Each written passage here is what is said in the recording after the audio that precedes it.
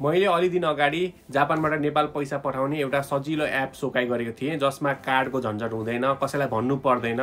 घरमै बसी बसी दिनभरिको रेट हेरेर आफूलाई मनपर्ने रेटमा जापानबाट नेपाल पैसा पठाउन मिल्छ भनेर भनेको थिएँ। त्यस भिडियोमा कति धेरैजनाले चाहिँ यो कसरी गर्ने हो रिस्क हुन्छ कि हुन्न तपाईँले पठाएर देखाउनुहोस् भनेर भन्नुभएको थियो। त्यस कारणले आज मैले आफूले नै पैसा पठाएर स्क्रिन रेकर्ड गरेर तपाईँहरूलाई एउटा एउटा देखाउनेछु अनि लास्टमा चाहिँ मेरो पहिलाको भिडियोमा भएको कमेन्टहरूलाई चाहिँ म एकैचोटि स्क्रिन रेकर्ड हेर्दै रिप्लाई दिनेछु। अन्त पहिला म वाइज एप खोल्छु। वाइज एप खोलेपछि मैले चाहिँ यो पहिला पठाएको पैसा हो। योभन्दा अगाडि। यसको रेट चाहिँ कति थियो? नाइन पोइन्ट फाइभ समथिङ हुँदाखेरि मैले पठाएको थिएँ। आज चाहिँ म तपाईँहरूलाई फेरि एकचोटि पठाएर देखाउनेछु।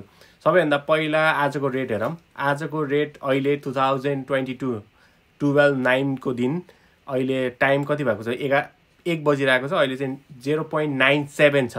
अहिले अरू रेमिटेन्सहरूमा रेट चाहिँ जेरो पोइन्ट नाइन फाइभ होला अथवा नाइन फोर होला। यसमा चाहिँ जेरो पोइन्ट नाइन सेभेन छ। पन्ध्र हजार पठायो भने चौध हजार चौसठी एन जान्छ। मैले यो सेन्ड गरेँ। सेन्ड गरेर मेरो पहिलेको खाता पहिले सेभ भएको भएर त्यहीँ डाइरेक्ट हुन्छ अनि मैले आफ्नो फ्यामिलीलाई पठाउँछु भनेर लेखेँ। त्यसपछि चाहिँ मेरो यो चाहिँ ट्रान्सफर गर्ने कसलाई गर्ने आफ्नै खातामा गर्दैछु। त्यस कारण यो चाहिँ एकचोटि चेक गर्नुपर्छ। चेक पहिले पठाएको भएर मैले चेक नगरिकन ओके गरेँ। त्यसपछि तल तल तल गएपछि आई एग्री भन्ने आउँछ। त्यसमा मैले क्लिक गर्छु। क्लिक गरिसकेपछि चाहिँ मलाई एकचोटि फेरि सोध्छ कि कसलाई पठाएको किन पठाएको भनेर। मैले चाहिँ remittance to friends and family होइन? फेरि त्यो लेखेपछि मैले ओके गरेँ। गरेपछि म्यानुअल ब्याङ्क ट्रान्सफर गरेपछि मलाई ब्याङ्कको खाता आयो। अब ब्याङ्कको खाता आइसकेपछि मैले यो खाता नम्बरमा पैसा पठाउनु पर्छ। त्यस कारण अहिले नपठाउँदासम्म यो सेन्डिङ पाउज भनेर देखाएको छ। अब यसमा मैले पैसा हालिदिनुपर्छ त्यो अहिलेको खातामा। त्यसपछि बल्ल सेन्डिङ सुरु हुन्छ। म आफ्नो जेपीमा गएँ। जेपीबाट मैले कसैलाई केही भन्नु पर्दैन। फुरी कमी रिरेकी मेरोमा पहिलेदेखि छ। मैले पहिले पठाएको भएर तर एकचोटि त्यही पनि नेन्नतामे खाकुनिन चाहिँ गर्नुपर्छ। पहिलाको अकाउन्ट र अहिले पठाएको अकाउन्ट एउटै छ कि छैन भनेर चाहिँ हेर्नुपर्छ। मैले एकचोटि चेक गरेँ एउटै रहेछ। यो pay pay by bank transfer गएपछि त्यहाँ देखाउँछ कि पहिला अहिले हाम्रो त्यो ब्याङ्कको खाता देखाउँछ अनि त्यसमा चाहिँ चेक गर्ने हो। मैले चेक गरेँ मेन चाहिँ खाता नम्बर हेर्ने हो। खाता नम्बरले चाहिँ थाहा हुन्छ। यस यसबाट चाहिँ म ठ्याक्कको जति भनेको छ त्यति पठाउँछु पन्ध्र हजार येन त्यही पेपे ब्याङ्कमा। खाता number two eight three three five six five यो चाहिँ एकचोटि चेक गर्नुपर्छ जुन खा आफूलाई आएको छ त्यही। त्यसमै पठाउनुपर्छ फेरि मिस्टेक भएर अर्कोमा गयो भने चाहिँ झ्याउ हुन्छ। त्यसको लागि चाहिँ रिफन्ड गर्नुपर्छ अर्कै झमेला हुन्छ। त्यही भएर खाता नम्बर चाहिँ एकदम राम्रोसँग चेक गरेर ब्रान्च नम्बर चाहिँ एकदम राम्रोसँग चेक गरेर पठाउनुपर्छ। मैले एकचोटि चेक गरेँ। त्यसपछि चाहिँ अब अहिले युजो अनलाइन एकैचोटि पठाउनु मिल्छ मैले सेन्ड गरेँ। सेन्ड गर्ने बित्तिकै सेन्ड भयो भनेर मेसेज आउने बित्तिकै म फेरि वाइज एपमा गएँ अनि वाइज एपमा गएर आई मेड दिस ट्रान्सफर भनेर मैले क्लिक गरेँ। त्यो क्लिक गरिसकेपछि चाहिँ उनीहरूको पहिला चेक हुन्छ मैले पठाएँ कि पठाएन भनेर। अब यसरी चाहिँ हाम्रो के भइरहेको छ भनेर कन्डिसन हेर्न पाइन्छ। अब यो चाहिँ सेन्डिङ पाउजबाट चाहिँ सेन्डिङमा गयो। अब यो यो चाहिँ अहिले हाम्रो कन्डिसन भयो।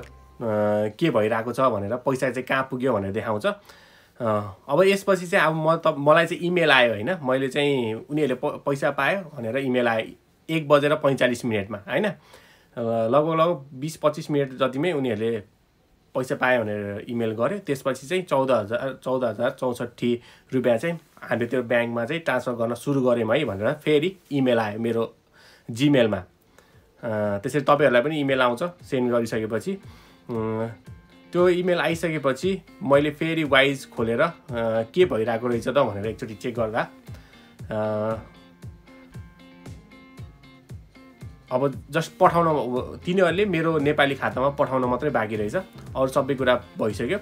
अब यसलाई यतिकै छोडिदिनु अलिअलि टाइम लाग्छ। फेरि मलाई ग्लोबल स्मार्ट भन्ने मेरो ब्याङ्क नेपाली नेपालको ब्याङ्कबाट चाहिँ तेरो खातामा चाहिँ पैसा आएको छ भनेर आयो। त्यही दिनको त्यही दिनको दुई तिन बजीतिर। मैले एक बजे पठाएको थिएँ तिन बजे गयो। तिन बजीतिर चार बजीतिर पठाउने भने चाहिँ एक एकैचोटि भोलि जान्छ। त्यही हो वर्किङ डेजको लगभग आठ घन्टा जति लाग्छ भन्छ म्याक्सिमम् होइन? अनि मैले यो चाहिँ बेलुका पा बेलुका सात बजे घर आइसकेपछि रेट हेरेको जिरो पोइन्ट नाइन सिक्स मैले पठाउँदाखेरि चाहिँ जेरो पोइन्ट नाइन सेभेन थियो। बेलुका आउँदाखेरि चाहिँ जेरो पोइन्ट नाइन सिक्स बिहान ते पन्ध्र हजार पठाउँदा चौध हजार आउँथ्यो अहिले चाहिँ तेह्र हजार। अब म तपाईँहरूलाई चाहिँ मेरो त्यो कमेन्टहरूको रिप्लाई दिन्छु है त। पैसा पिकअप गर्नमा के के भन्नु अरे चाहिँ यु युट्युबको नेम के छ? ठुलो ओआरएएनजी अनि ठुलो एआरटी यस ओराङ आर्ट्स छ है युट्युबको नेम। कसरी हो ब्याङ्कसँग जोड्ने भनेर भन्नुभएको रहेछ। ब्याङ्कसँग जोड्नको लागि चाहिँ सुरुमा एप डाउनलोड गर्ने बित्तिकै जे जे मागेको छ त्यो सबै दिनुपर्छ अनि आफै जोडिन्छ है। नेपाल पठाउन कतिको रिस हुन्छ भन्नुभएको छ? चोरेको पैसा भने चाहिँ रिस हुन्छ न त चाहिँ रिस हुँदैन।